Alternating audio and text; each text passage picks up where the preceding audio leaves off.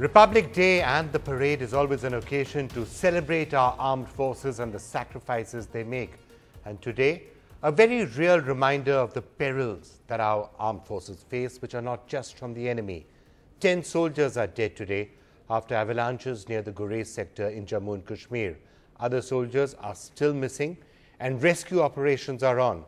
But there is record snowfall taking place in parts of the Kashmir Valley and it isn't easy to search for survivors fresh avalanches are always possible.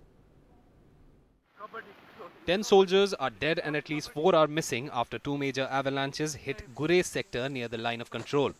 The morning patrol came under a wall of snow after Gurez recorded 6 to 10 feet of snow in the last three days. Rescue operations are still underway in a highly inhospitable terrain.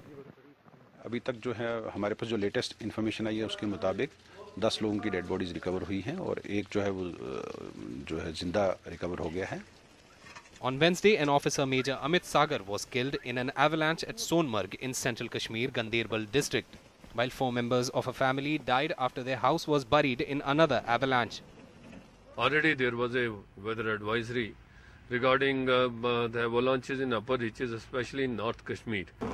Meanwhile, the Kashmir Valley remains cut off from the rest of the country for the third consecutive day. All flights to Srinagar airport have also been cancelled due to snowfall.